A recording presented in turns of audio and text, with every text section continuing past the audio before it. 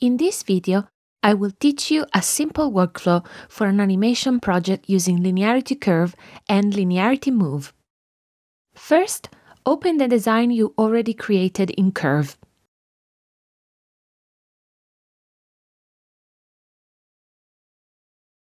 We need to rename each of the layers with a unique name. We can do that one by one.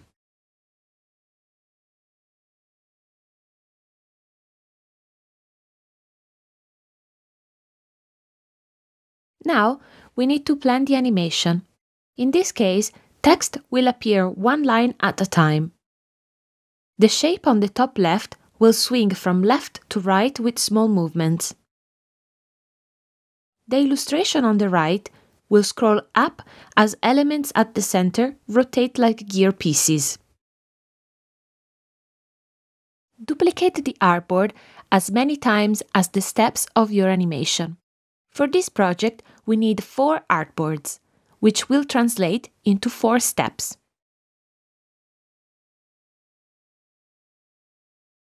Now, apply changes to each artboard based on the steps of the animation. Step 1. On artboard number 1, move down and hide all three text lines, turning the opacity to 0%. Also, add a small change to the mosaic styles on the right by rotating the centerpiece of each tiles of 90 degrees, one every other square. Step 2. On artboard number 2, reposition and turn down the opacity of the second and third line of text. Here, we can add the first change to the green shape on the top left by rotating it by 5 degrees.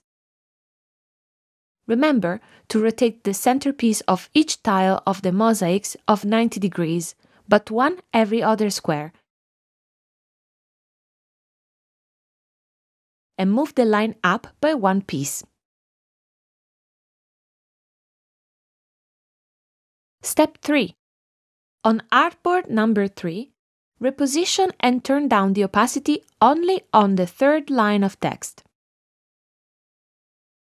Rotate the green shape on the top left corner to minus 5 degrees, which is the opposite direction from the rotation we added before. Don't forget to rotate the centerpiece of each mosaic tiles by 90 degrees every other square.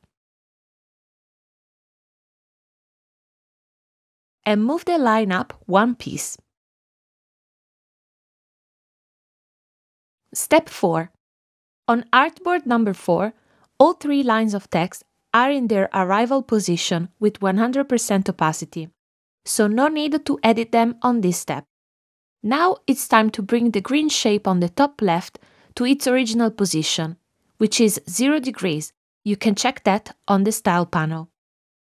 Last part of the process is to rotate the centerpiece of the mosaic tiles by 90 degrees one last time. Remember to do it only every other square and to move the line up until you reach the second to last piece. So one piece is still out of the artboard. Finally, you can save your file and export as dot .curve.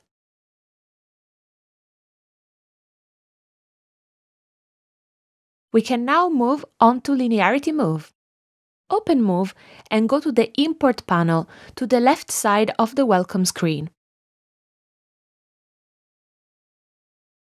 Here, select the curve file we previously exported. In the dialog box, select all four artboards and drag them into the Scene Builder line. Set seconds to 5 seconds and click Import.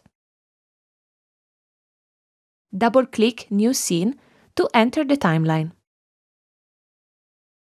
On the bottom left, all layers are visible and they are named according to the curve file.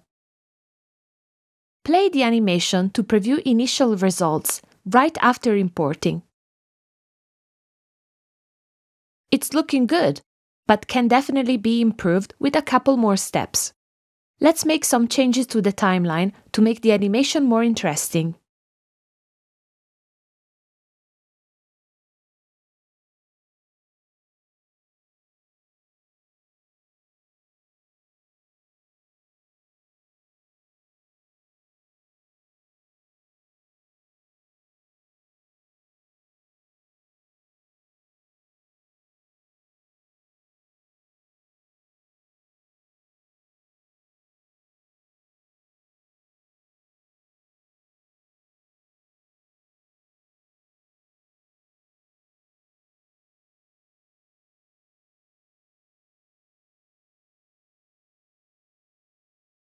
Great! Our animation is now ready. Go to the File menu up here.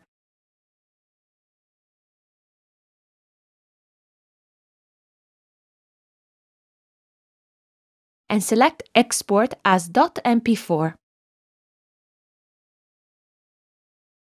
Our animated video file is now ready to be shared.